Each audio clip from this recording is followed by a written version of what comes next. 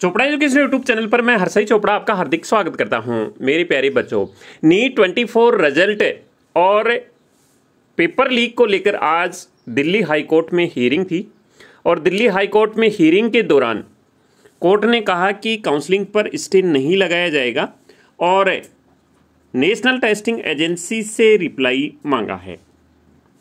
ये supreme Court में भी यही जजमेंट था, सुप्रीम कोर्ट की तरफ़ से भी। और हाई कोर्ट की तरफ़ से भी यही जजमेंट आया है इसमें।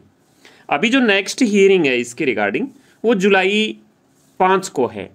तो मैं आपको बता दूँ, मैंने पहले भी आपको एक वीडियो बना के बताया था कि एक ही मैटर के रिलेटेड जो भी केसेस होते हैं, जैसे हाई कोर्ट में होते हैं, सुप्रीम कोर्ट में होते हैं तो उनका जो डिसीज़न होता है उसमें, वो सुप्रीम कोर्ट का डिसीज़न ही मान्य होता है।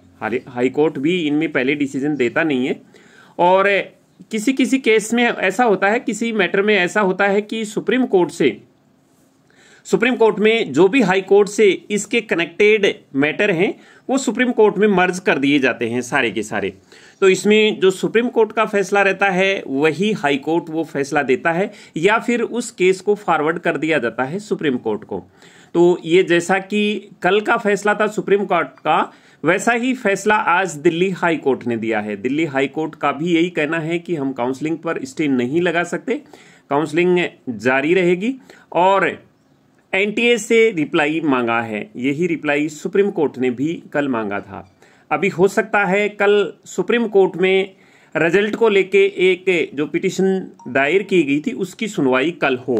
शायद उसकी सुनवाई कल हो सकती है जहाँ तक है आ, कल ये केस लिस्टेड हो सकता है। तो जैसे ही इसकी सुनवाई का जो भी अपडेट आएगा मैं आपको इन्फॉर्म कर दूँगा। तो ये जानकारी थी दिल्ली हाई कोर्ट से। मिलेंगे नई अपडेट के साथ में नए वीडियो में। तब तक के लिए जय हिंद।